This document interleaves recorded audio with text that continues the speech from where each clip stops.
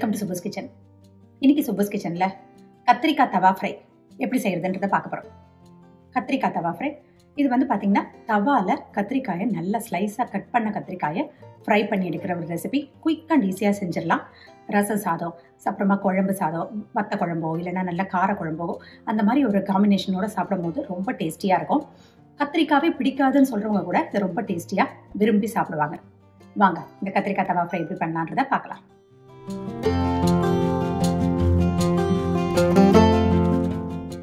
ஒரு பத்து கத்திரிக்காய் எடுத்துக்கோங்க. நல்லா சுத்தம் பண்ணி நல்ல ஒரு டவல் வச்சோ இல்லைனா ஒரு பேப்பர் டவல் வச்சோ நல்லா தொடச்சிக்கோங்க. காம்பை நல்லா கட் பண்ணி எடுத்து தூக்கி போட்டுட்டு இந்த மாதிரி ஸ்லைசஸாக கட் பண்ணிக்கோங்க. ஒரு பாயிண்ட் ஃபைவ் சென்டிமீட்டர் அளவுக்கு ஸ்லைசஸ் மாதிரி கட் பண்ணிக்கோங்க. கொஞ்சம் திக்காக இருந்தால் தான் உங்களுக்கு வந்து குழஞ்சி போகாமல் இருக்கும் உங்களுக்கு. இந்த மாதிரி கட் பண்ண ஸ்லைசஸை ஒரு பவுலில் எடுத்துக்கோங்க. இதில் நல்லா ஒரு ஒரு டீஸ்பூன் அளவுக்கு உப்பு சேர்த்துக்கோங்க. ஒரு அரை லெமன். நல்லா ஸ்க்வீஸ் பண்ணி அந்த அந்த ஜூஸை வந்து இந்த கட் பண்ணியிருக்க ஸ்லைசஸில் சேர்த்துருங்க. நல்லா இப்போ மிக்ஸ் பண்ணி கொடுங்க. இந்த லெமன் ஜூஸும் இந்த உப்பும் வந்து நல்லா மிக்ஸ் ஆகட்டும். தனியாக வச்சுருங்க.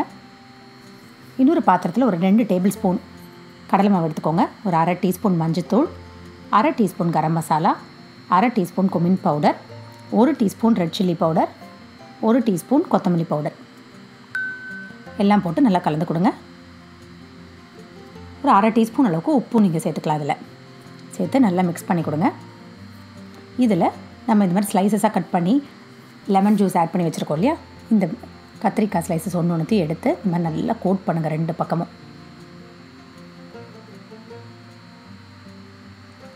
ஒரு பிளேட்டில் இந்த மாதிரி கோட் பண்ணதை தனியாக எடுத்து வச்சுக்கோங்க.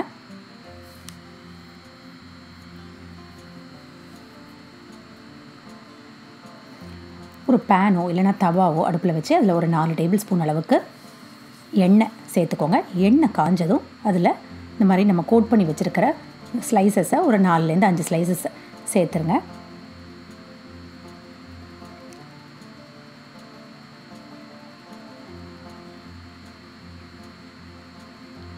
ஃப்ளேமை லோவில் வச்சு நல்லா வந்து ஒரு பக்கம் அடிப்பாக்கு அடிப்பகுதி வந்து பொன் நிறமாக மாறுற வரைக்கும் குக் பண்ணி எடுத்துக்கலாம். இந்த மாதிரி ப்ரெஷ் வச்சு ஆயிலை வந்து மேல் பக்கத்துலேயும் நீங்கள் தடவி கொடுத்தீங்கன்னா உங்களுக்கு நல்லா அந்த பொடிகள்லாம் வந்து கீழே உதிராமல் ஹோல்டு பண்ணி இருக்கும். கொஞ்சம் நேரத்துக்கு அப்புறமா நீங்கள் வந்து ஒவ்வொரு பீசஸையும் திருப்பி போடுங்க. பார்த்தீங்கன்னா இப்போ அடிப்பகுதி வந்து நல்லா குக் ஆகிடுச்சு பாருங்கள் இப்போது திருப்பி போட்டு இன்னொரு பக்கத்தையும் நல்லா பொன்னிறமாக மாறுற வரைக்கும் குக் பண்ணி எடுத்துக்கோங்க. இந்த கத்திரிக்காய் ஸ்லைசஸ் ஒன்று ஒன்று சாஃப்டாகவும் இருக்கணும். கொஞ்சம் கிறிஸ்பியாகவும் இருக்கும். கத்திரிக்காய் தவா ஃப்ரை இப்போ நமக்கு தயாராகிடுச்சு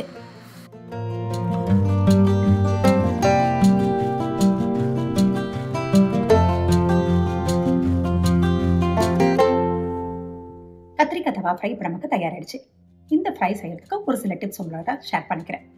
ஃபஸ்ட்டு டிப் கத்திரிக்காய் நல்லா வந்து ஒன்று அந்த பெரிய கத்திரிக்காய் இருக்கும் இல்லையா? அந்த மாதிரியோ இல்லை வந்து நல்லா ஒரே மாதிரி ரவுண்டான சைஸ் கத்திரிக்காவோ ஒரு பத்து கத்திரிக்காய் எடுத்துக்கோங்க. அந்த மாதிரி எடுத்த கத்திரிக்காய் நல்லா முதல்ல சுத்தம் பண்ணி ஒரு துணியை வச்சோ இல்லைனா ஒரு பேப்பர் டவல் வச்சோ நல்லா தொடச்சிக்கோங்க. ஈரம் இல்லாமல் நல்லா தொடச்சிட்டு அதுக்கப்புறமா ஸ்லைசஸாக கட் பண்ணிக்கோங்க.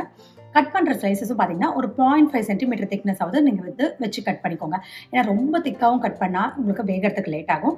ரொம்ப தின்னாக கட் பண்ணோன்னா நமக்கு வந்து சீக்கிரமாக வெந்து ஒரு மாதிரி குழஞ்சு போயிடும். உங்களுக்கு அந்த ஷேப் ரீட்டைன் ஆகாது. அதனால ஒரு பாயிண்ட் ஃபைவ் சென்டிமீட்டர்னு வச்சு நீங்கள் வந்து ஒரே மாதிரி ஸ்லைசஸாக கட் பண்ணி சேர்த்துக்கோங்க. செகண்ட் டிப் இது வந்து கத்திரிக்காய் நம்ம தண்ணியில் சேர்த்தோம்னா கலர் கலர் வந்து போகாமல் அப்படியே இருக்கும். அப்படி இல்லையா? அதுக்கு நம்ம வந்து சால்ட்டும் லெமன் ஜூஸும் கலந்து வச்சோம்னா கூட நமக்கு வந்து அந்த கலர் வந்து ரீட்டைன் ஆகி இருக்கும். அதே மாதிரி இந்த சால்ட்டும் லெமன் ஜூஸும் நம்ம சேர்க்கும் போது என்ன ஆகும்னா அந்த கத்திரிக்காயில் வந்து அந்த ஸ்லைசஸில் ஒரு ஈரப்பதம் வந்து ஆட்டோமேட்டிக்காக உங்களுக்கு ஃபார்ம் ஆகும். அதனால நம்ம அதுக்கப்புறம் அது ஸ்பைஸ் பவுடர்ஸோட சேர்த்து நம்ம கலந்துக்கும் போது நல்லா அந்த ஸ்பைஸ் பவுடர்ஸ் அந்த கத்திரிக்காய் ஸ்லைசஸில் நல்லா ஒட்டிக்கும். அதனால தான் நம்ம வந்து லெமன் ஜூஸும் சால்ட்டும் சேர்த்து நல்லா மிக்ஸ் பண்ணி வச்சோம். தேர்ட்டி ஸ்பைஸ் பவுடர்ஸில் பார்த்தீங்கன்னா நம்ம ரொம்ப வந்து சாதாரணமாக எப்பயும் போல் கடலை மாவு அப்புறமா வந்து மஞ்சள் தூள் காரப்பொடி கரம் மசாலா கொத்தமல்லி தூள் இதெல்லாம் தான் நம்ம சேர்த்துருந்தோம்.